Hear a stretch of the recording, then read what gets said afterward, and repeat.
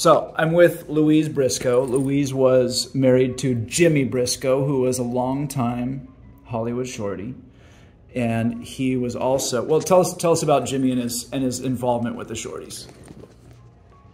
Jimmy um, came back from the circus and um, got involved in LPA, and he found out about a, a team called the Hollywood Shorties and I guess one of his LP friends told him that they wanted him involved, and he got and got on the basketball team. And he became, he was like the jokester of the team. He would put this helmet on, he blew the whistle, he directed traffic of, of the players. He loved every minute of it, and he was sad when it was over. Yeah. The film itself is now, it was six years ago, seven years ago, if you can believe it. Um, you saw the film, what are some memories? How did you feel about seeing the film for the first time? Where did where did you see it for the first time? You. I think we saw it in the movie theater, didn't we? Were you at the Chinese theater for yeah, that one? Yeah, we went to the Chinese theater in Hollywood. And that was the first you had seen it. Yeah, and then after that, I, we saw it at the house because it was on Netflix. Yeah, yes, it was. and I, I've seen it around. I've seen the movie around ten times. Oh my goodness. Yes because every time I saw saw it, it was I would notice something different. Right. And it was it was like coming back home okay. to something that I loved. Okay. And I would go see it in person, and now it's in it's in on film. Yeah. And it's there forever.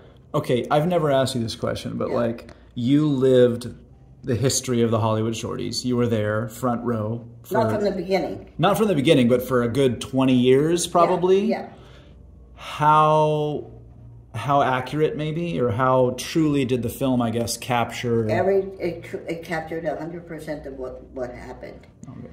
but not after the fact sometimes. right yeah. Yeah. There's some places i didn't go with no, some places you didn't go and didn't should not be. Right. But uh, when it started to when the game ended you were there and it was a lot of fun and everybody loved it. Tell, so that's what I wanted to ask is like here seven years on, like how has the film worn on the community? Like what impact has it had on the community? How is it held?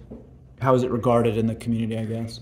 Well, it's like it's sort of like, it's a documentary. It's educational. It helps little people, young little people, say, "Oh, there was a team that I could be on.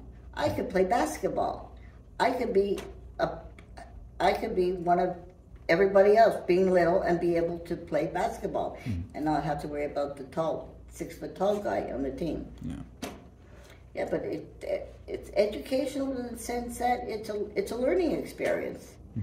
You can have fun and so be little, enjoy a sport, and and not and be included in the sport that you thought you weren't going to be able to play.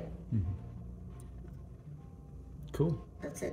That's all. I don't know. Is that enough? That's enough.